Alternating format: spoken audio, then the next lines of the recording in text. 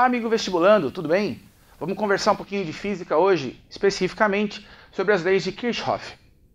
As leis de Kirchhoff, na verdade, elas são uma sistematização de leis ou de procedimentos que a gente já conhece.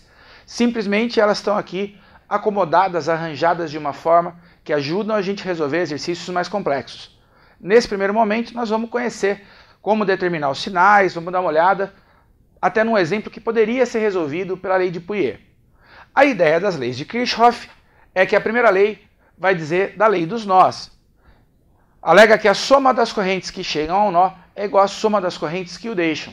Isso faz todo sentido quando a gente imagina que essa corrente elétrica, sendo corrente contínua, né, é o fluxo de elétrons. Os elétrons que chegam a um determinado nó, um ponto onde o fio se divide, tem que passar para o outro lado desse nó. Então, se chega uma quantidade de elétrons de um lado, toda essa quantidade tem que sair. A gente não pode perder elétrons pelo caminho. A segunda lei, a chamada lei das malhas, faltou um S no meu texto, vamos corrigir, ó, diz que a soma das tensões dos aparelhos de uma malha é nula. Isso também faz sentido porque a gente sabe que alguns aparelhos vão produzir tensão, vão produzir voltagem, vamos dizer assim, né? E outros aparelhos vão consumir. Para essa soma ser zero, então algumas tensões vão ter valores positivos, outras terão valores negativos. Essa tabela aqui, ó, tem uma sugestão é, dos sinais que a gente pode usar para essas tensões.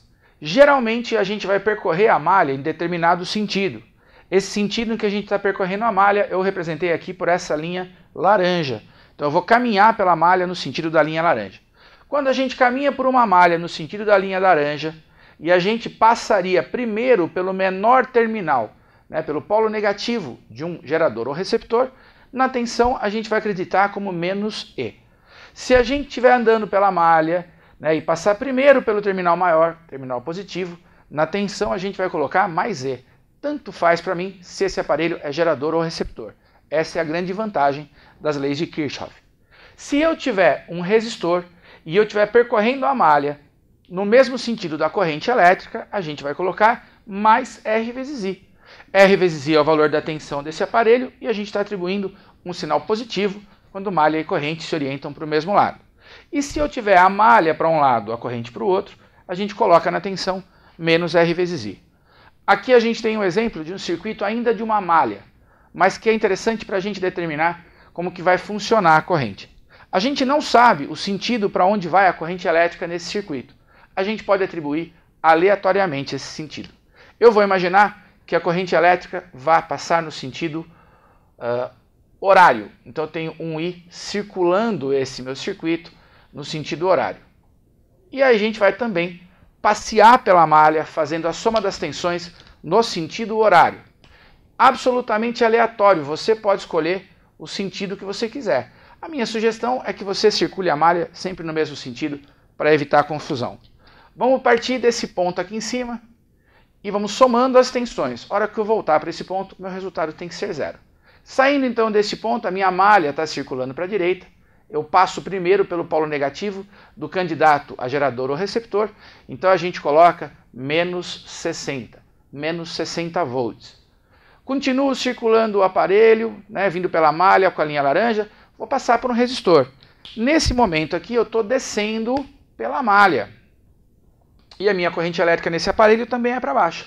Quando a corrente tem o mesmo sentido na malha, a gente coloca mais a resistência que é 3 vezes I.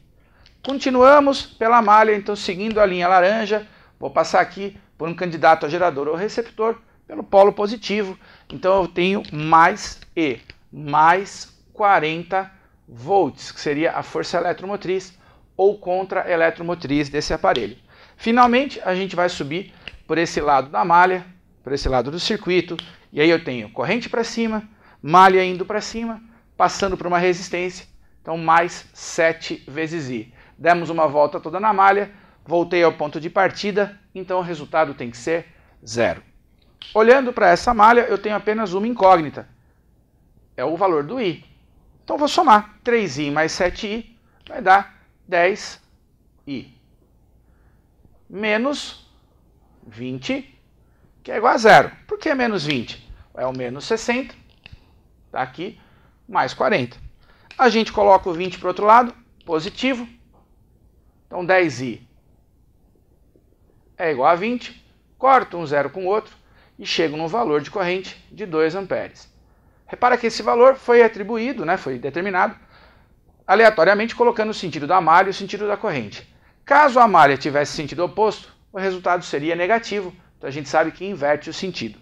Mais uma coisa, a gente poderia fazer esse circuito pela lei de Pouillet, 60 menos 40 dividido por 7 mais 3.